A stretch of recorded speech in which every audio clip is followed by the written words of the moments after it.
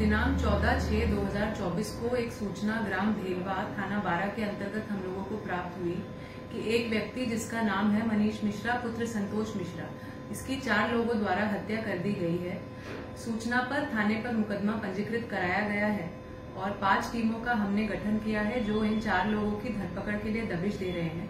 अग्रिम विधिक कार्यवाही थाने पर प्रचलित है।